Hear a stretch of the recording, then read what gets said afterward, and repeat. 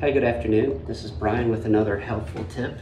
Um, a lot of times in water damages, uh, there are what we call secondaries, a small amount of little water that comes out of a valve from something removed, such as a toilet or a vanity.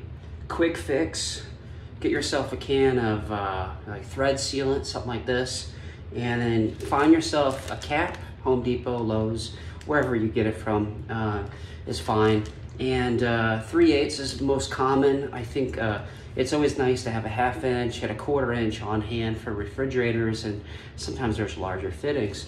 And essentially all you do is take this can, it's got a brush in it, and you're just gonna, you're gonna put that right around that valve right there. And then you're gonna take that cap from the bag, you're gonna put it on just like so. You're gonna grab yourself a crescent wrench just like that, and you're just gonna tighten it, not too tight, until it's done. What you're looking for is it's got a nice seal with that, that threaded sealant. Wear gloves because it's gonna get over your hands. And then you're gonna notice no more drippage.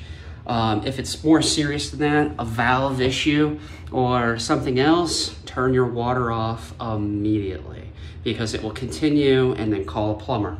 All right? Have a great day. This again is Brian Vint at Anthony Restoration. Take care. Thanks.